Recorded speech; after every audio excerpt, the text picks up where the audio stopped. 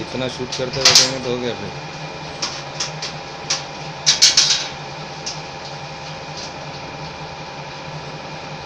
इतना क्यों बनी सर आवाज़ क्यों? तेरा आवाज़ आएगा इसमें आवाज़ नहीं आएगी।